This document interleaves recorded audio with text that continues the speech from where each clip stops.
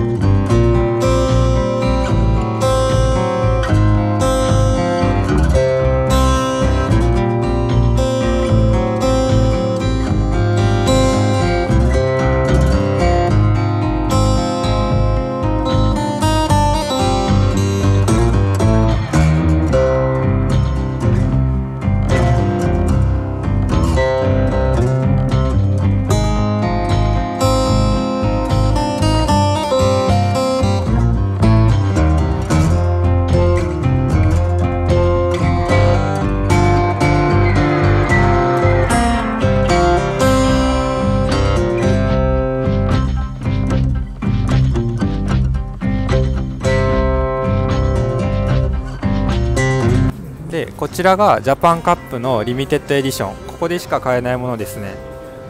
でジャパンカップ宇都宮っていう風に書いてます。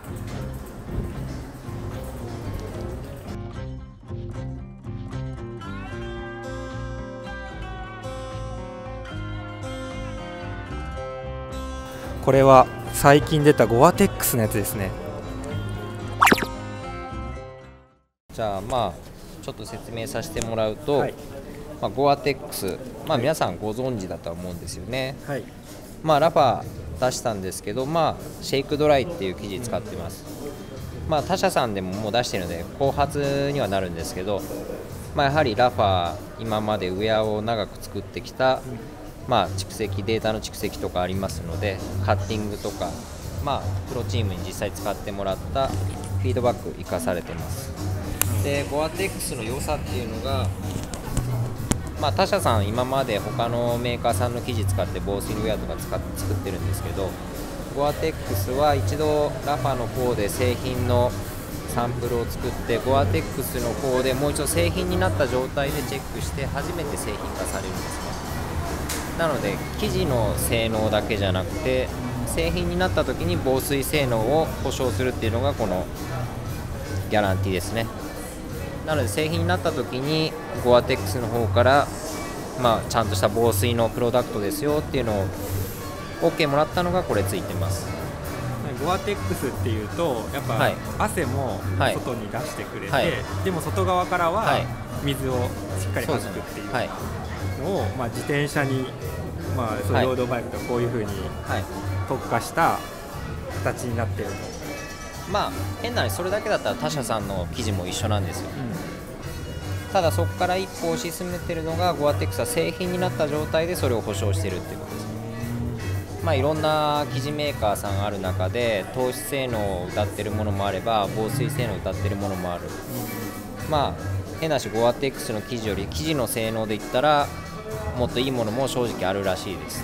ただ製品になった状態でゴアテックス生地メーカーとしてちゃんと保証しているのはゴアテックスだけです。で、まあ、あと今回このシェイクドライっていうのが一応メインの生地なんですけど、まあ、ゴアテックスをはじめ普通の防水の生地っていうのが3層のレイヤーになってて、まあ、防水のためのフィルムですね。これを中核にして裏生地と表生地ついてます。で普通は表生地がついて、まあ、こういう今までよくあるゴアテックスとか、まあ、他社さんでもよくある防水の生地ですね、まあ、表表面に生地がついている分、まあ、丈夫にしたりとかするのがメインの役割なんですけどあのどうしてもその生地って撥水加工はされてるんですけどいずれ染みちゃうんですよ。で水に濡れた生地っていうのがあると結局糖質性が落ちる。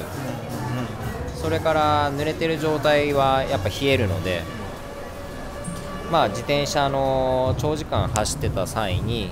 あの表面の生地は濡れてまあ裏にはもちろん染みてこないんですけど表面のファーストレイヤーっていうのがあるとどうしても濡れて糖質性が落ちるので生地が冷えちゃう。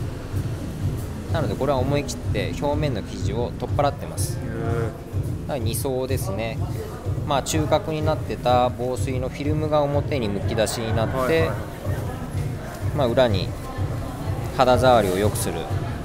あとフィルムだけだとペラペラすぎるのでそれを補強する生地ですね。じゃついてます。なので今までの、まあ、一般的な防水のウェアの生地よりもあの透視性が高いのが特徴ですね。あと表面の撥水器がついてないのでその分軽量なのと、まあ、こういう写真にあるように常にもう水を完全に弾きます。何時間経ってもこの弾くっていうのは変わらないですね。もう完全に防水なのでこの表面が。普通のウェアはこの防水の膜の上にもう1枚生地がついてるのでそこの撥水性能はまあ、どうしても何時間も走ってたりとか土砂降りとかで圧がかかると落ちちゃいますよね、はい、それがないんですね、まあ、それがすごいこだわり抜いたそうですね。新しいウェアですね、はい、バリエーションは今ここに並んでるのは3種類あるんですけど、はい、今3種類展開ですか、そうですね。まあこれがメインで、はいあとですね同じシェイクドライっていう生地を使ってるんですけどこちら。まあ裏地がついてより寒い地域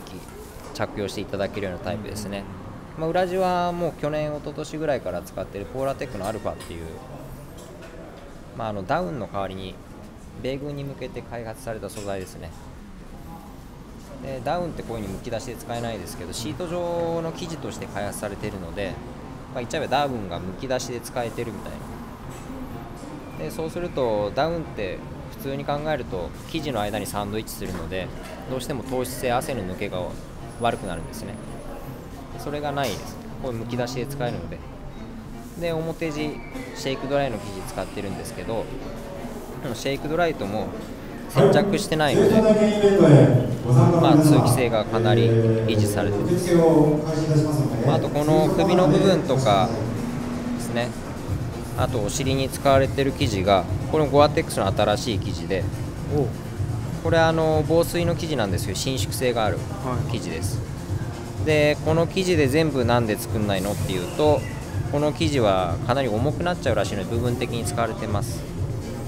なのでまあ人によって顎の形首の長さ頭の大きさ変わるのでここは伸縮性高いものを使ってます。あなるほど、はい、そういう素材なんですねそうですね。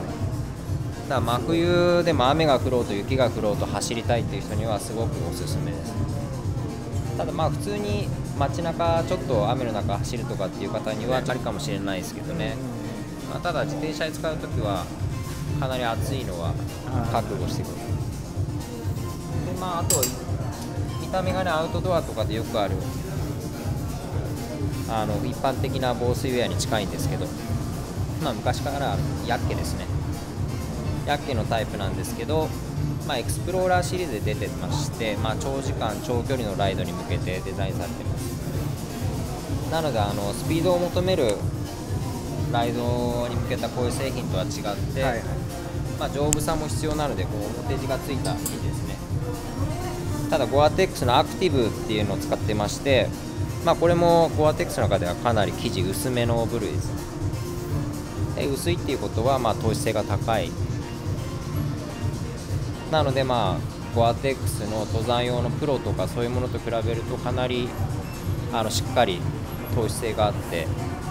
あの使い勝手はいいと思います、